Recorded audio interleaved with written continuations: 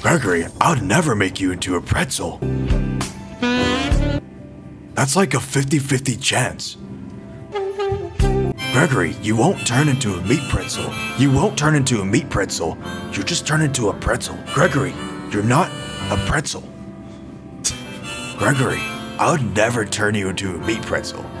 Man, what am I doing? I literally said that line like 17 different times.